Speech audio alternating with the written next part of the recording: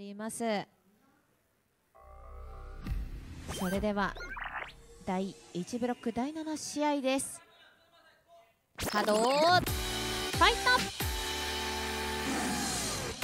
さあまずミスタのステータスからご紹介していきましょう。一番奥側ライト選手5311まず1点を取っていきます。そして真ん中隼人選手1135手前ズーマー選手が3241といったステータスとなっております。対するアークエース一番前、リュウ選手5311、スッスー選手、岡田選手が1135というステータスとなっております。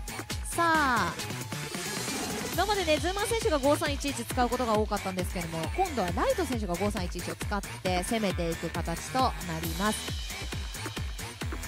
さあうまく逃げ切ったライト選手見事な逃げ切りでしたね今ね。さあ1点リードのまま試合が進んでいく。ミスタもね隼人選手しっかり我慢して我慢してシールド張ってるので1枚差ですかね。残り時間は20秒。ユウ選手とスッスー選手がライフが1枚なのでここ狙いたいミスタとしっかり避けていきたいアクエス。さあ残り時間は10秒を切った。ユウ選手がライフ1枚で避ける。ズーマー選手と1枚取りたいが